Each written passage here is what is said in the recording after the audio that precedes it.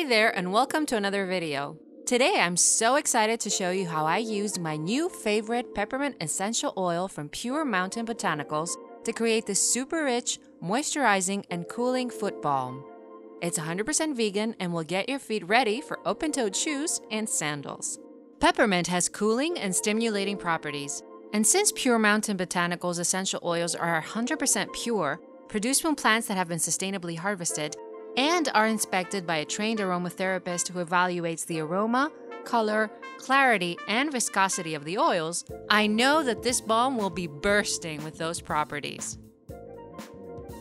To make this foot balm, you will need 2.5 tablespoons shea butter, 3 tablespoons olive oil, half a cup sunflower, jojoba, or almond oil, 3 tablespoons candelilla wax, you can use beeswax if you're not vegan, half a teaspoon vitamin E oil, and of course, the peppermint essential oil from Pure Mountain Botanicals.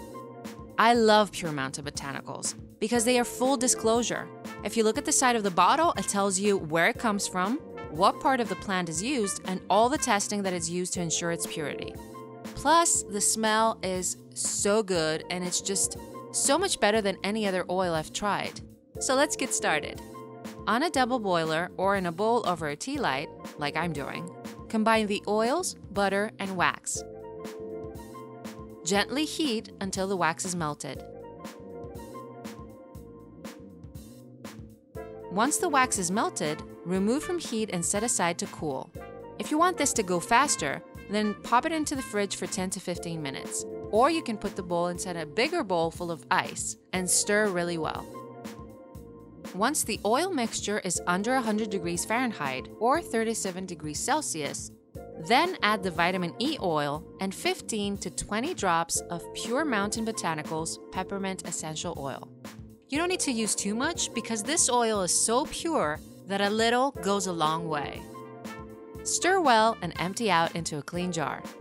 Since this recipe uses only oils, it's safe to keep outside of the fridge.